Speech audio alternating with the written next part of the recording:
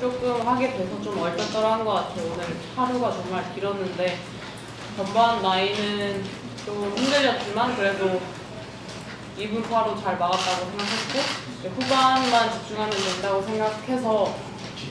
시작을 했는데 이제 보기랑 더블 보기를 하게 되면서 좀 하늘이 무너, 무너져 내렸었지만 그래도 캐디 오빠가 계속 계속 외치던 게 I can do it, just do it이라고 계속 외쳐, 외치고 또 오빠가 말도 이제 크게 크게 조금 당당하게 하라고 해갖고 그런 그런 에너지가 조금 저한테 좋게 작용해서 마무리를 좀 훌륭하게 할 수 있었던 것 같아요. 근데 확실히 제가 요, 요즘에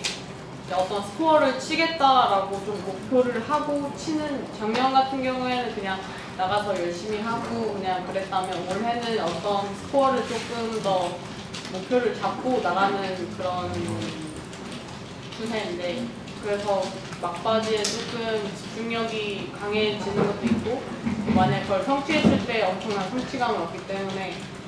그런 요소가 조금 있지 않나 제가 좀 안정적인 골프를 하고 싶다고 했는데 그러려면 일단 그린을 치는 그 GIR이라고 그게 높아져야 이제 좀 더 안정적이게 매번 코스를 나갔을 때 경기를 풀어갈 수 있다고 생각하거든요. 그래서 그런 세부적인 목표들은 크게 변동이 없을 것 같고요. 정말 제 바램이지만 상반기에 2승은 2승을 하면 뭐 어머니에게 뭘 이렇게 뭐 시계를 산다든가 이런 뭐 이렇게 이제 그걸 한 건 약속은 있어요.